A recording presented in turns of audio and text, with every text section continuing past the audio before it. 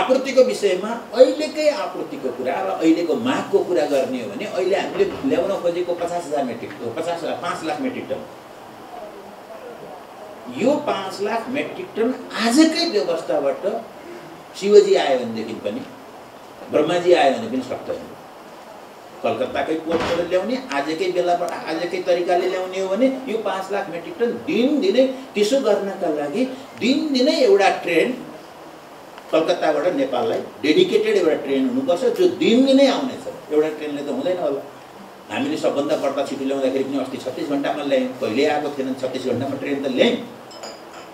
छत्तिस घन्टामा कलकत्ताबाट आउने ट्रेन यहाँ वीरगञ्ज आइपुग्ने ट्रेन यस्ता ट्रेन दिनदिनै एउटा ट्रेन आयो भने एउटा ट्रेन डेडिकेट गरियो भने मात्रै हामी कहाँ पाँच लाख मेट्रिक टन आउने हो।